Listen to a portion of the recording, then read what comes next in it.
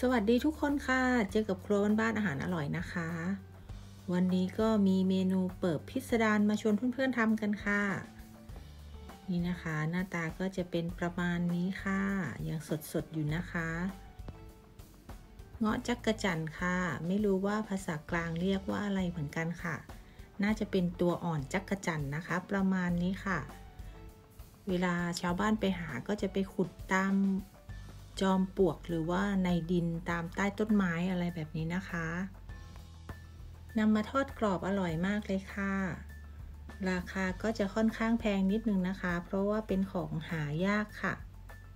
1 ตัวก็ประมาณ 1 บาทถึง1บาท50 นะคะ ทั้งหมดนี้ที่ในกระมังนี้ก็ประมาณเกือบ 3,000 ตัวค่ะ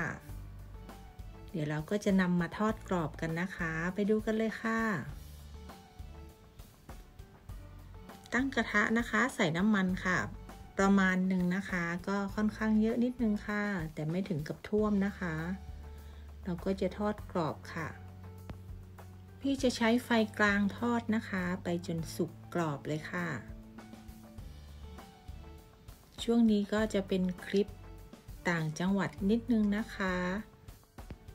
หน้าตาของอาหารก็จะแปลกๆ บ้านๆนิดนึงนะคะ เดี๋ยวพรุ่งนี้ไปก็จะเป็นคลิปปกติแล้วค่ะ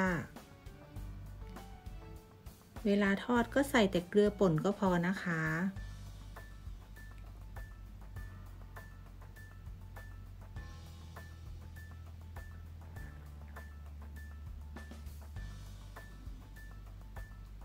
มันคนให้ความร้อนทั่วถึงนะคะนี่ค่ะ ได้ประมาณนี้นะคะ เดี๋ยวเราก็ตักขึ้นพักได้เลยนะคะ ให้เสด็จน้ำมันค่ะ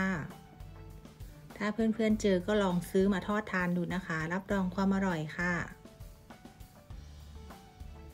เท่านี้ก็เสร็จเรียบร้อยนะคะเงาะจักกระจั่นทอดอร่อยอร่อยค่ะ เพื่อนๆดูจบแล้วถ้าชอบก็ฝากกดไลค์กดแชร์กดติดตาม เพื่อเป็นกำลังใจให้ครัวบ้านๆอาหารอร่อยด้วยนะคะ